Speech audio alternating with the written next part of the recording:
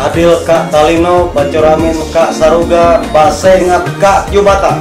Harus Dewan Adat Dayak Kabupaten Pulang Pisau mengucapkan selamat Hari Natal 25 Desember tahun 2019 dan selamat menjelang tahun baru tahun 2020. Dengan hikmah Natal, mari kita jaga keberagaman masyarakat Kabupaten Pulau Pisau berdasarkan filsafat Puma Beta.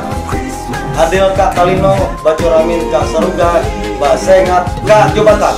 Harus